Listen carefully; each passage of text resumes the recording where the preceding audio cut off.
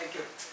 The second movement is Feverish Scherzo, marked vivacissimo, which means very, very fast. And it's an evocation, this time of a rural dance of the Pampas in a Creole tradition called a malambo.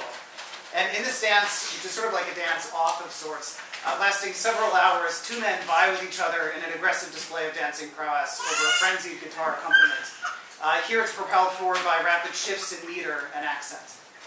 So this is the second movement, Vivacissimo.